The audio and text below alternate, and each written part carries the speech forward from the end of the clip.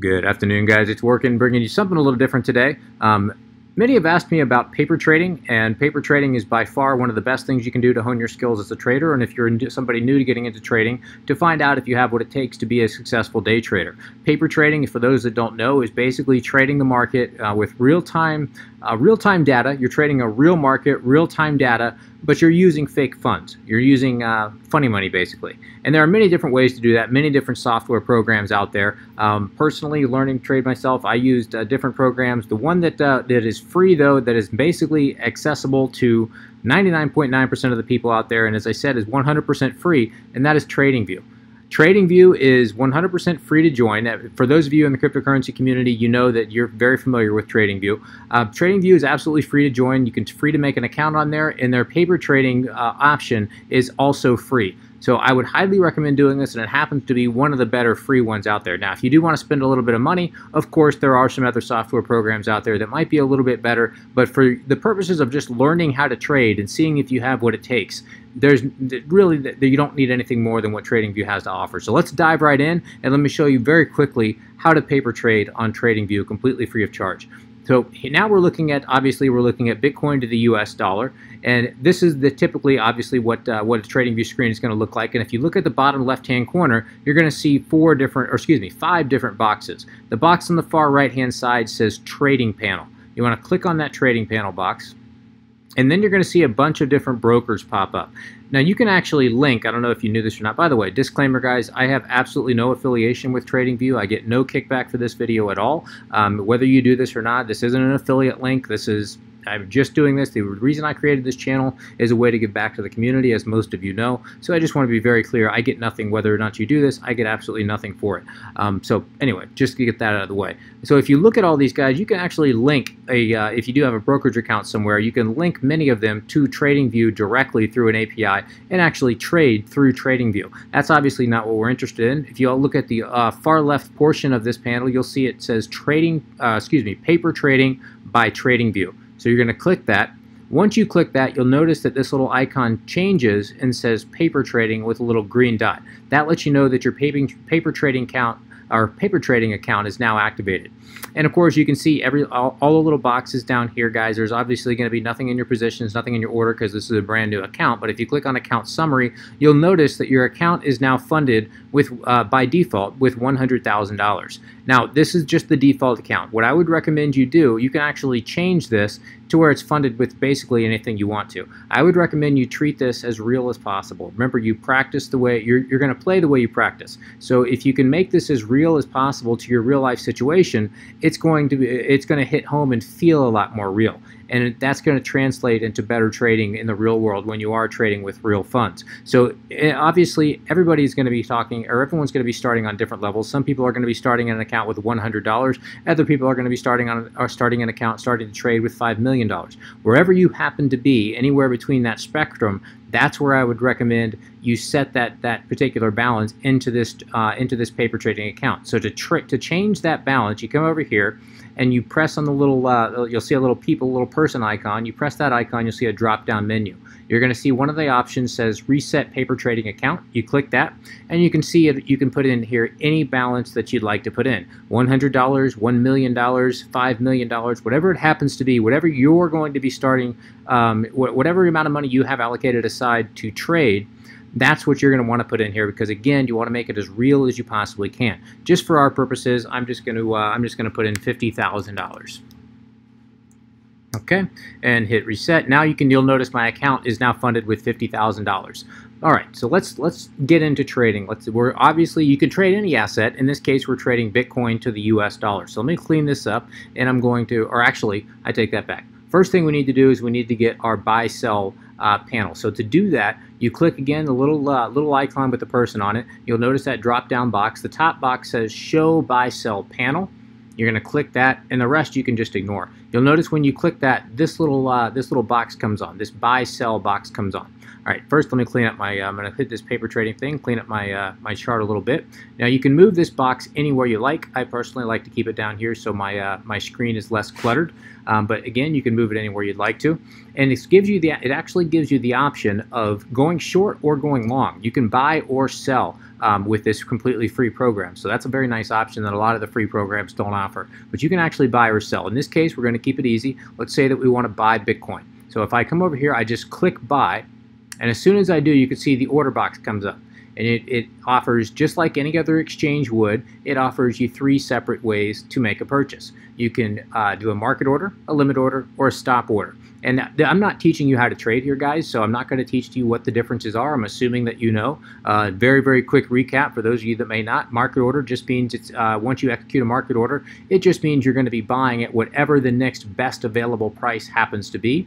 A limit order actually lets you type in an exact price that you would like to buy at. So for example, we, we can see Bitcoin at $12,566. Let's say I want to buy Bitcoin at $12,100. I think it's going to drop, and when it does drop, I want to buy at that point. I can put in a limit order put in that uh, 12, uh, whatever I happen to want to uh, to buy Bitcoin at, $12,100, and execute that limit order. And if and when it does drop there, it'll execute that order. And I can also put in a stop order. A stop order, for those of you that might not know, it's a little bit uh, not quite as common of an order, but that basically is, let's say that I think Bitcoin is hitting up against a major area of resistance. I think that it may reject hard off that resistance, but if it can break above it, I think it's going to continue going up to the upside here. I can actually set a stop order to trigger if price reaches up to the upside at a higher price. So if, let's say in this case I, I, I want to trigger a, a, a buy order if price can reach up above 13,000. So I can put in a stop order here of, uh, of 13,000 and if and when price gets there, it'll trigger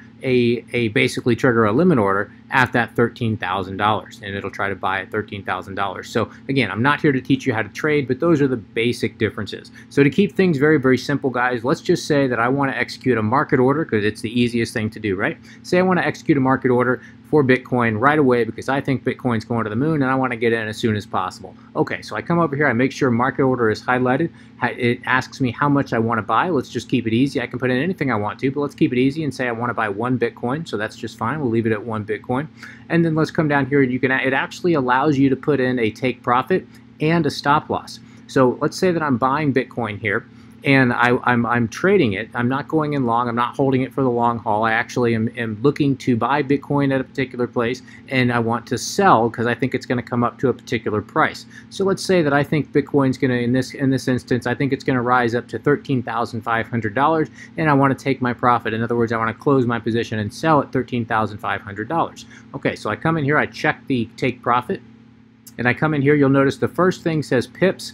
Pips is not something you really use in cryptocurrency. I'm not going to explain exactly what it is. I would, for those of you that are veteran traders, you know. For those that are not, I'm not going to get into it, guys. You can go ahead and look it up. It's not something you really want to be interested in at this point in time, and not really relevant, especially for new traders right now. The second price, the second uh, second thing down there is price. This is where you're going to put in the take profit. So we want to take profit at $13,500. That's where we think it's going. That's where I want to close my order. So I'm going to go ahead and put in 13,000 and instead of putting 13,500 I'm going to put $13,495 because I'm a good trader right and I want to make sure that gets executed. We know everyone's going to be putting in their sell orders at 13.5 I'm going to put it at 13.49 so now I've got my take profit at 13.49 and where do I want my stop loss? Well let's say being a good trader that I am, I'm going to come over here and I'm going to look at this uh, at this order block, this little microstructure here, and I'm going to look at the swing low of this little microstructure, and I'm going to put my stop loss, being the good trader that I am, right below that wick of the prior. Uh, um, of this prior structure here. So right below that wick is going to be at about uh, $12,060. So I'm going to come over here and I'm going to put my stop loss, make sure I'm on price, and I'm going to put my stop loss at 12,000 and $61 because again I'm a good trader and I like to keep my numbers a little bit odd and make sure they get executed.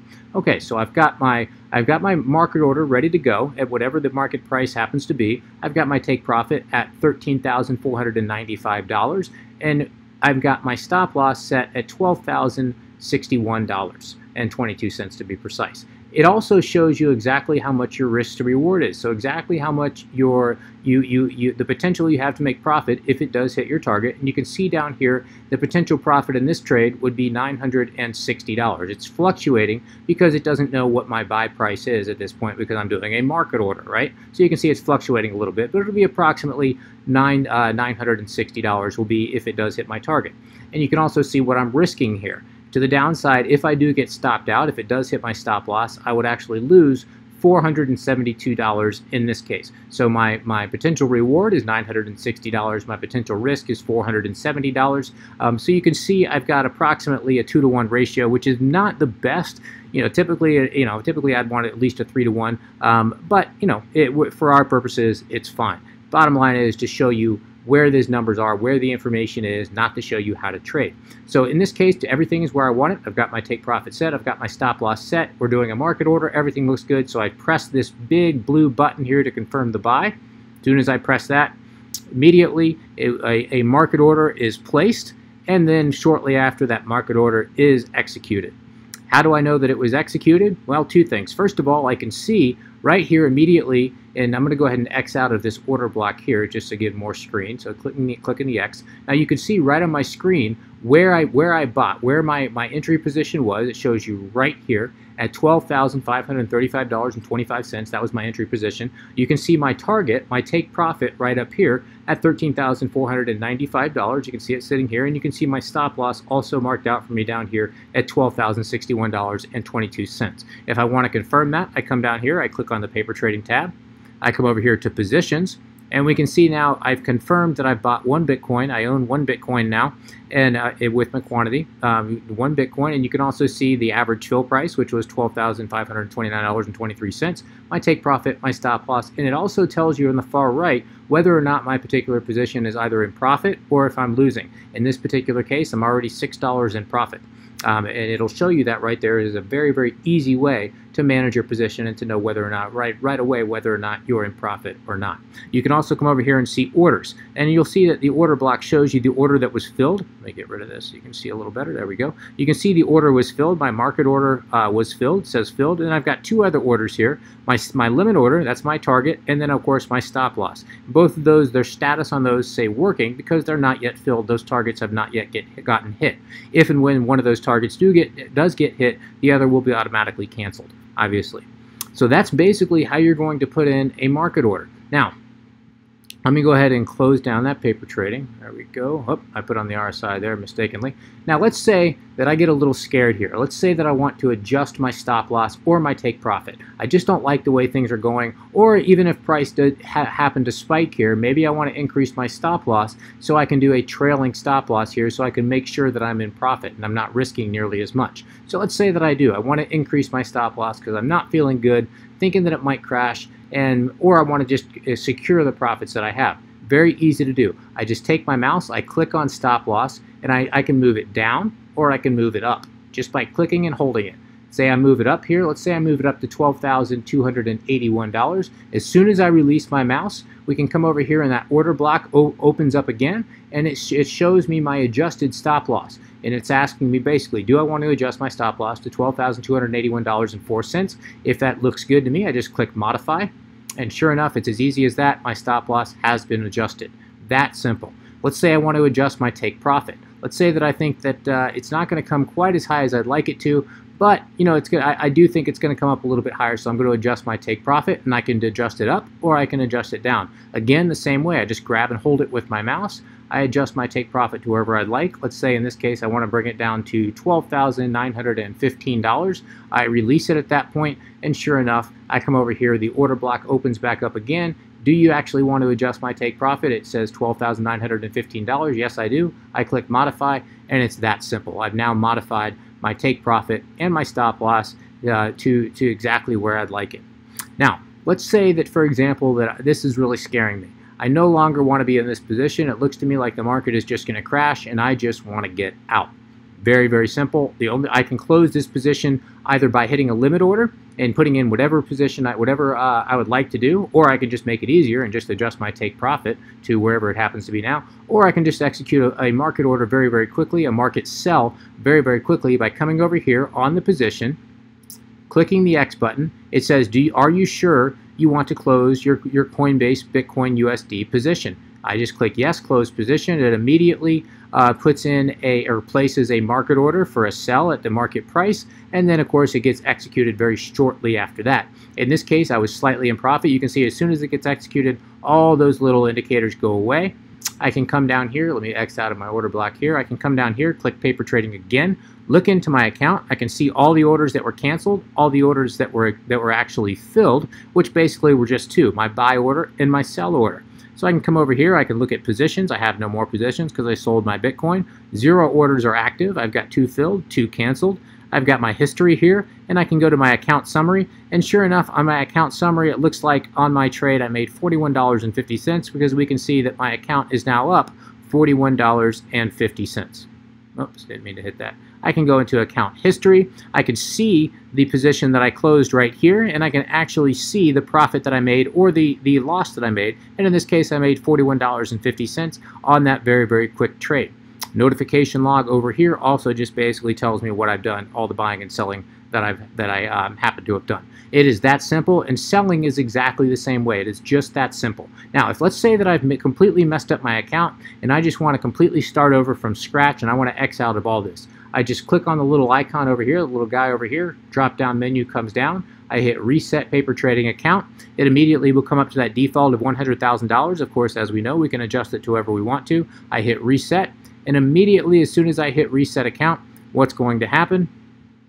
all my order history is gone, all my account summary is is gone, and it just comes back to that $100,000. And that's it. Account history disappears, trading journal disappears, obviously uh, positions disappear, and I'm back to square one. It is that simple.